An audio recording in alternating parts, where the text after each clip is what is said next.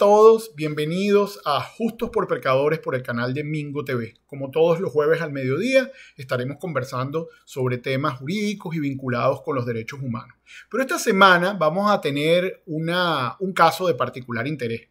Toda Venezuela ha venido siguiendo lo ocurrido con la trama de corrupción PDVSA Cripto, que ha involucrado a una gran cantidad de funcionarios y exfuncionarios públicos. Esto es un crimen que se comete solo desde, el, desde la perspectiva del poder. Hay que estar en el poder para tener un, un, dominio tan grande de toda esta actividad administrativa y para poder apropiarse de estos fondos públicos en los términos que lo hicieron. Pero hoy pudimos ver cómo se produjo la delación. Vamos a hablar de qué es la delación. La delación de Samar López, nada más y nada menos, una persona solicitada por la justicia norteamericana por la comisión de diversos delitos, pero también sancionada por la OFAC. Interesante los motivos de la sanción, poco conocidos o poco se debate sobre, al respecto, pero que además eh, en esta trama que viene, que viene urdiendo eh, el régimen venezolano intenta involucrar a un grupo de periodistas en la comisión de unos supuestos delitos. Este, va a ser muy interesante tratar de ver qué valor tiene esto y tratar de constatar cuál es la credibilidad del supuesto testigo. Así que empecemos. Ahora, antes de analizar el caso en concreto, lo que ha pasado allí, es interesante que podamos ver eh, en qué consiste la delación. Permanentemente hemos visto que en todos los casos recientes el Ministerio Público dice ha habido una delación ha habido una delación, pues es que no hay, no hay otra prueba, no hay más nada. Lo que han hecho es colocar a personas a declarar unos contra otros.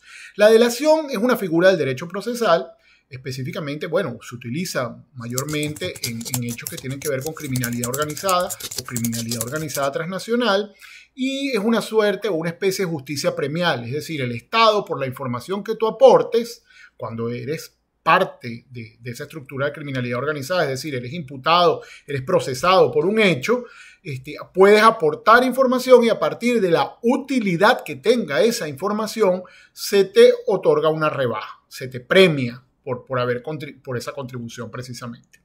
Lo que ocurre, y ya tengan este dato allí, vamos a irlo dejando, es que en la mayoría de los casos la doctrina ha dicho que se delata a alguien que esté en tu mismo nivel, dentro de la organización criminal o hacia arriba, nunca hacia abajo, no tiene objeto. Y esto es precisamente para intentar evitar que alguien obtenga un beneficio desde el punto de vista de la pena un beneficio procesal delatando a los subalternos. Esto es, pónganse, veamos un ejemplo, el Chapo Guzmán, por ejemplo, delata a todos los que eran sus empleados y por esa delación obtiene una rebaja de pena. Es un despropósito no está evitando que ocurra nada, no, es una contribución real a evitar que, haya continuidad en el delito. Siempre se delata en el mismo nivel o se delata hacia arriba. Veamos si estas cosas se han cumplido en lo que ha ocurrido eh, en, este reciente caso.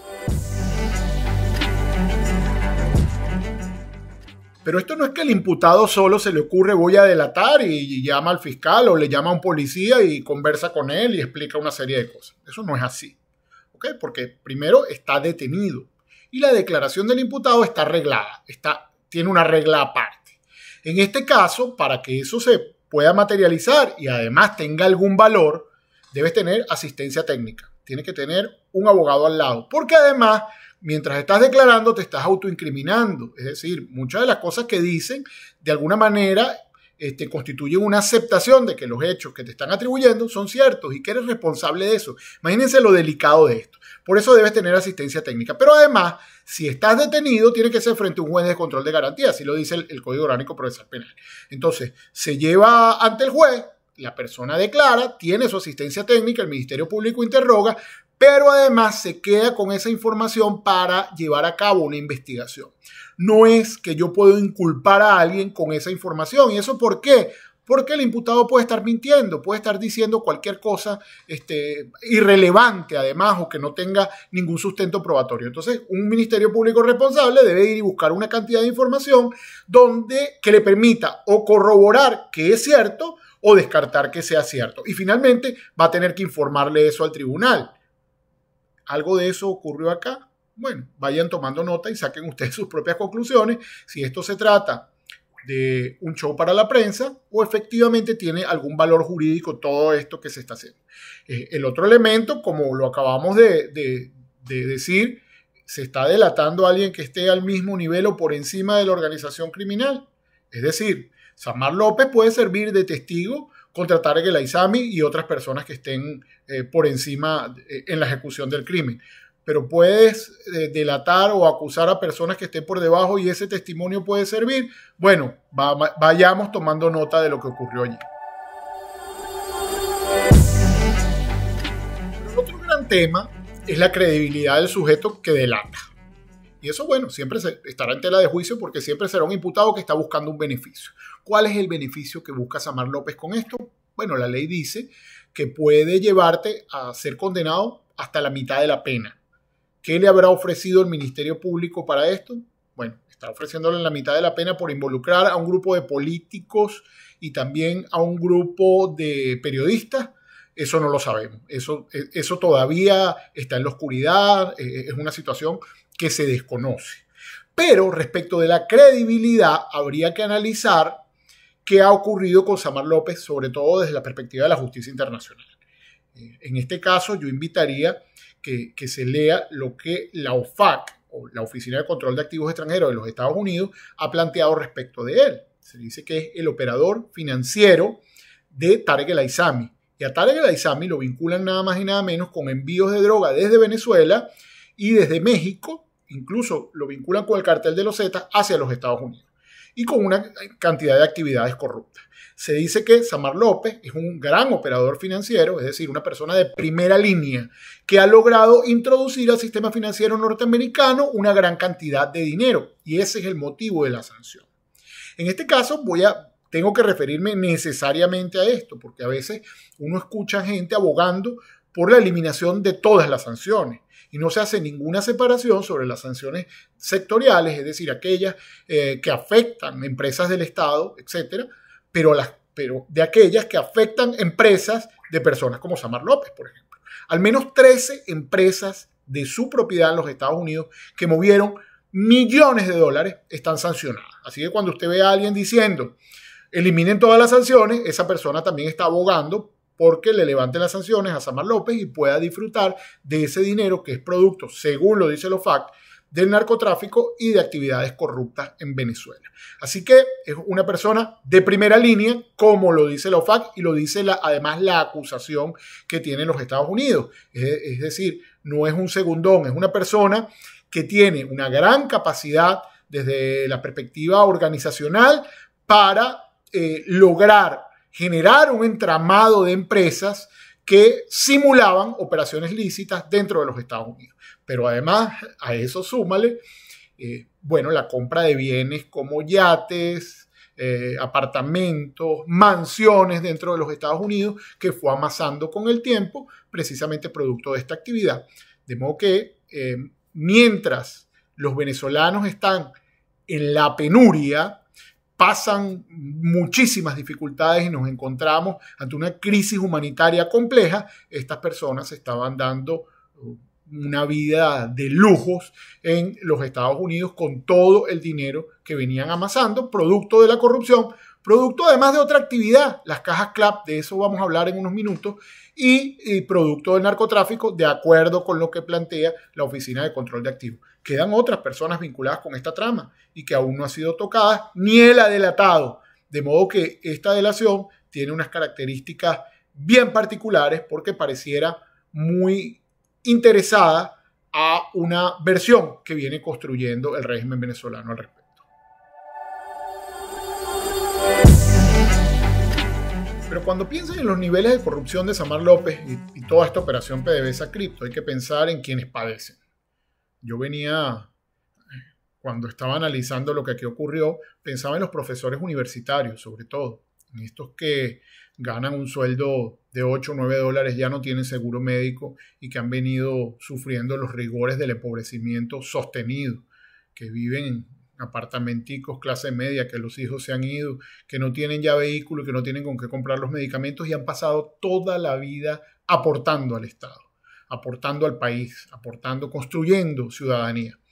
Bueno, hay, habría que recordar que Samar López, entre algunos, entre tantos bienes que le quitaron, le quitaron una mansión de 16 millones y medio de dólares en Dry Gables, en el estado de Florida. Nada más tiene nueve habitaciones, tiene 11 baños, tiene una salida directa al mar donde puede salir con, con su yate, tiene un ascensor interno, piscina, es decir, todo un mundo de lujos este, que solamente los grandes millonarios se pueden dar. Esto, esto es justo realmente, hay que pensar en esto. Este es el delator, este es el que está involucrando al resto, a un grupo de personas, este, estando vinculado directamente con una corrupción grotesca. Pero además, y esto no es un tema menor, se detectó que Samar López es propietario de un emporio económico muy importante en la isla de Barbados. Sí, señores, en la isla de Barbados. En la isla de Barbados, donde se firmaron los acuerdos, donde supuestamente el régimen venezolano iba a respetar las bases de una normalización democrática y a permitir unas elecciones competitivas, e iba a, permitir la, participación o el ejercicio de los derechos políticos. No, digamos que, se estaba comprometiendo mucho, sino solo al ejercicio de los derechos políticos. Allí se, le, se determinó que tiene una gran cantidad de bienes y empresas a su nombre y a nombre también de otro grupo de testaferros, porque ahora él siendo un testaferro tiene otro grupo de testaferros.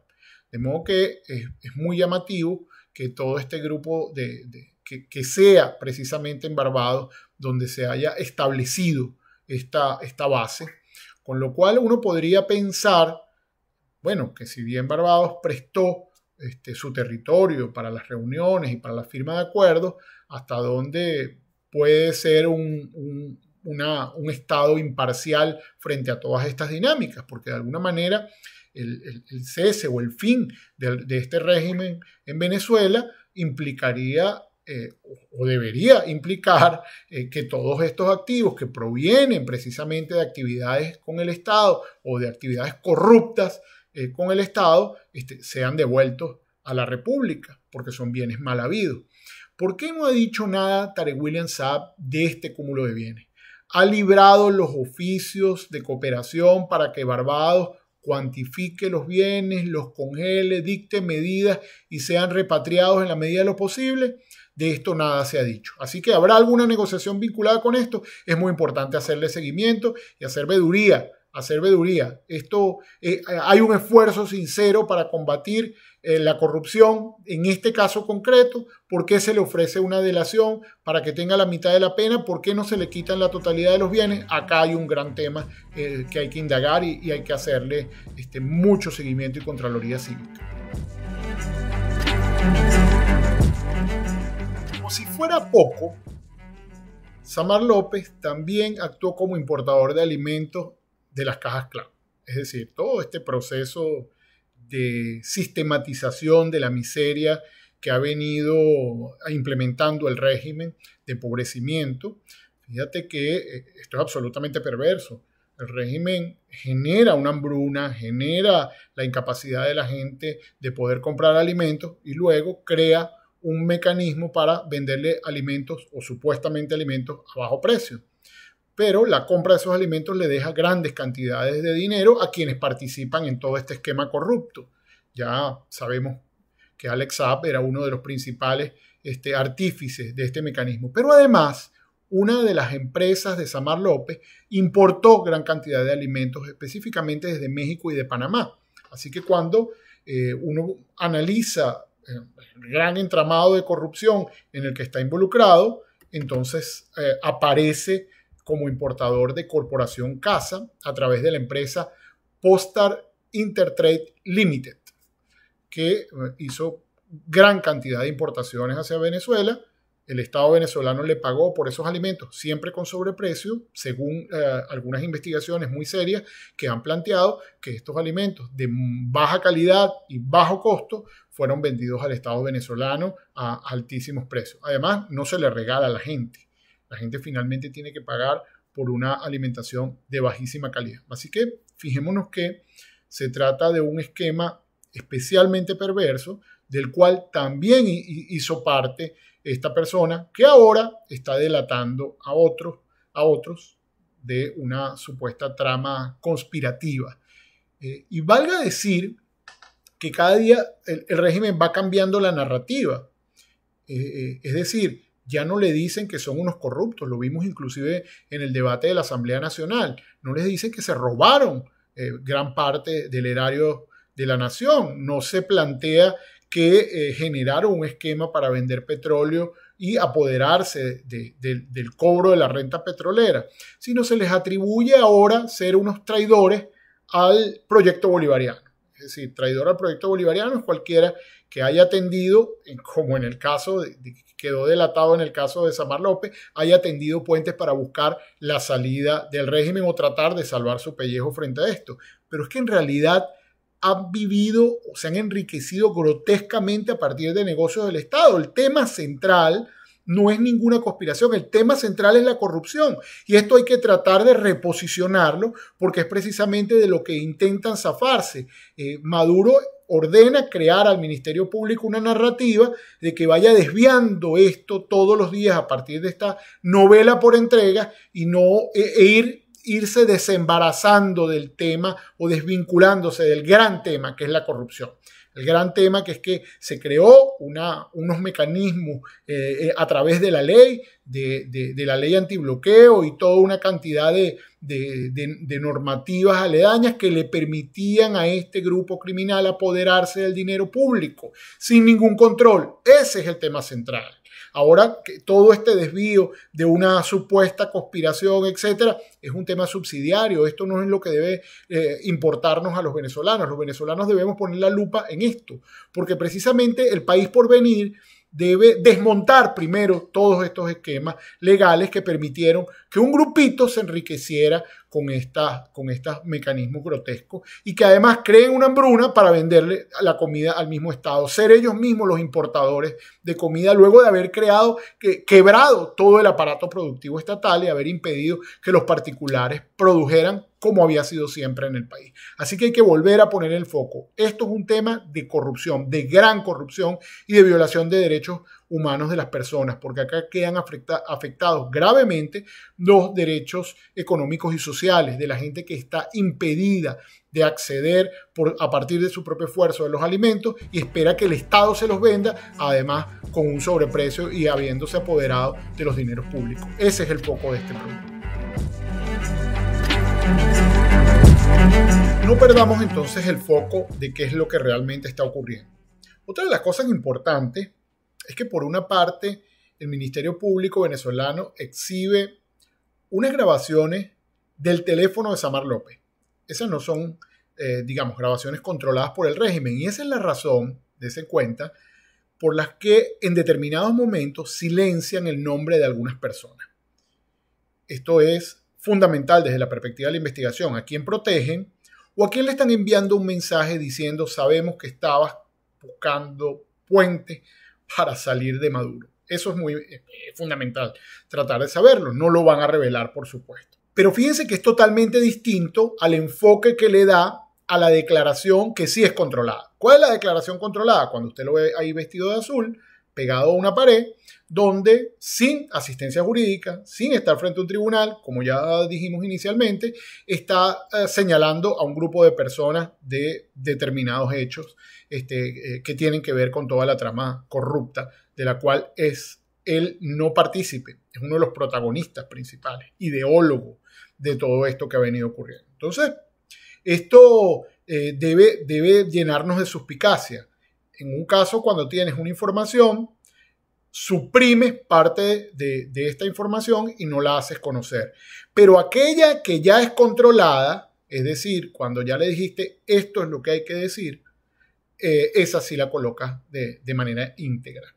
Y además, como ya hemos dicho, sin ningún valor desde la perspectiva jurídica, porque esto no se puede llamar una delación. Y ahí en ese momento eh, está bajo el control de las autoridades las autoridades pueden hacerle decir cualquier cosa, sin saber además si ha sido víctima de tratos crueles, inhumanos, degradantes o de tortura, como ha venido siendo señalado eh, por algunos medios muy responsablemente. De modo que eh, recordemos que la ley eh, contra la tortura y también los acuerdos internacionales, existe una Convención de Naciones Unidas contra la Tortura, impiden que se haga uso de la información obtenida a partir de la tortura. Este, este, tipo de información donde la persona se auto-inculpa de una cantidad de hechos, pero también señala a otros, este, eh, no puede ser utilizado si ha, si ha mediado tortura física o psicológica. Pero la clave de esto es que en un caso el, hecho tiene un enfoque y en, otro tiene, y en el otro tiene otro.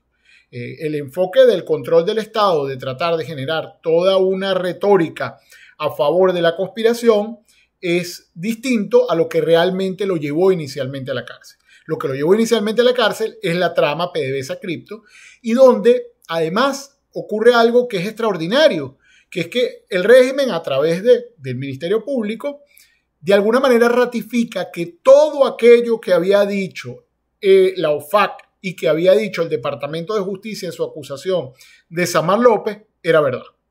Ha ratificado que efectivamente participaba de un esquema corrupto, de un esquema de lavado de activos que había comprado inmensa cantidad de bienes, de bienes, había creado una cantidad, un entramado de empresas que no tenían ninguna legitimidad desde la perspectiva del giro económico y que estaban lavando activos provenientes del narcotráfico y de, la, y de los esquemas de corrupción venezolanos. Así que, de alguna manera, quien ha dado mayor valor a la investigación que ha llevado a los Estados Unidos ha sido Tarek William Saab, que le está acusando exactamente de lo mismo, solamente que desde la perspectiva de la retórica trata de decir que lo que, lo, que venía ocurriendo era esencialmente una conspiración contra el gobierno, cuando son actos esencialmente corruptos.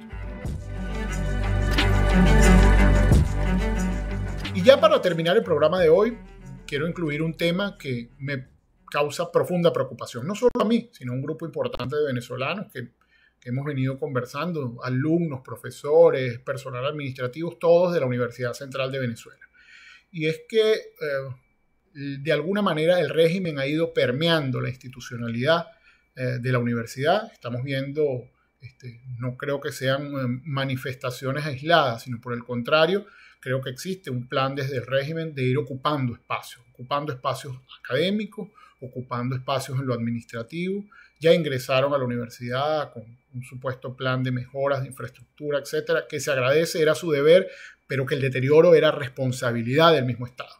Entonces es como quebrarte las piernas para luego darte una muleta y esperar que se te agradezca, como de alguna manera se ha venido diciendo popularmente. Yo creo que la universidad debe seguir siendo un bastión de, academia, de independencia, de autonomía, pero también de, libertad hecho de que algunas eh, personas vinculadas con graves eh, hechos contra los derechos humanos de las personas o que han atentado contra la autonomía universitaria o, que, o que, por ejemplo, el DIGESIN eh, sea financista de uno de los equipos de, de, la universidad o que esté super bigote en el estadio olímpico, yo creo que forma parte de este plan. No se trata de hechos aislados, así que estamos haciendo seguimiento, pidiendo explicaciones como parte que soy de la comunidad universitaria, como egresado, de modo que esto debe de alguna manera convocarnos a todos porque la universidad debe seguir siendo un bastión de, libertad, eh, un, espacio que no esté vinculado con el poder, con ningún poder, es decir, ni, ni este ni ninguno por venir. De modo que siempre sea eh, un espacio crítico, un espacio libre, un espacio plural, pero además este, un espacio donde se construya ciudadanía y que no hayan intereses subalternos por debajo. Así que esta reflexión final allí la dejo y este, pido a la gente que haga seguimiento a esto porque acá hay un tema importante y el régimen ha venido ocupando todos los espacios. Ojalá no logre tomar la Universidad Central de Venezuela. Quedamos hasta la semana que viene, el próximo jueves al mediodía, donde nos veremos en una nueva entrega de Justos por Pecado. El socialismo te rompe las piernas, luego te da unas muletas y te dice, sin nosotros no tendrías muletas.